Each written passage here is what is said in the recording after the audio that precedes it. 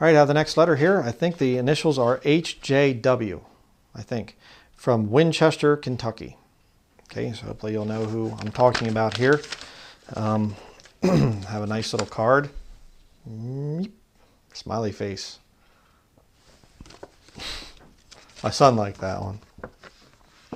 Dear Bryan and Catherine, I'm writing um, onto both of you to let you know how much I enjoy your YouTube videos and how much of an awesome blessing every one of them has been to me. I particularly love the good or the food prep videos you do, the natural organic foods you prepare and don't even prepare. Um, look absolutely delicious as I know they would be. Whenever you do, uh, you have done your YouTube videos outside, I can clearly see that you live out in nature's beautiful area uh, of your town. I know that um, regards writing is increasingly becoming a lost, um, or regular writing, I guess, is is increasingly becoming a lost art. So to people, or so to speak, but I I'll be uh, so ever humble and honest to tell you that I'm now 55 years old and still don't know how to use a laptop computer due to a stroke when I was born uh, has slowed me down in my learning uh, capabilities. I'm a born again Christian and I pray often. However, I now I strongly feel uh, like I do need to start reading my Bible and uh, and going to church again. And careful on that one, but we'll get back to that. I've been really bad on neglecting that in my life. The reason I haven't been going to church is because the only the one I found back in 2000 in which I loved so much has moved away, I guess, and into the country and is being being our limited income. It takes up too much of our gas going back and forth for eight miles. Um, two ways every Sunday. It was the Holiness Church of God. Now, since they moved out into the former Providence Elementary School, it's now the Providence Pentecostal Church. Um, okay. I loved it so much. Um, they were so much like family to me.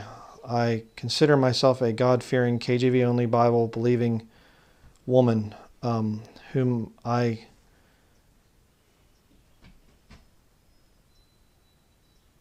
uh, who I consider to be living a very um, humble and holy life, perhaps not to extremes that you do, but plenty enough that God is sure to be very well pleased. I firmly believe everything you um, say concerning the Word of God and the wicked, perilous times we live in, and uh, the imminent return of our Lord and Savior Jesus Christ. However, now I don't take the Bible and live according to it to the most extremes and to the way, to the very dot and and tittle, jot and tittle, I guess, the way you do, in which I have no conviction of God because, um, by because I'm also a firm believer that everybody is different and we're not all of the same levels spiritually, and we all don't grow of the same at the same rate and that everybody's problems and circumstances are unique and different as we are as individuals to each other and God deals with each of us his children differently. I will admit there are some things I really struggle with in my walk with the Lord, but it keeps me on my knees and close to him as I fight darkness and principalities daily, as we all do. I remember you saying that you and your wife were 29 and 36 when you got married. I was 36 when I got married, and my husband Leonard was 40. Um, we got married on uh, October 22nd, 1994.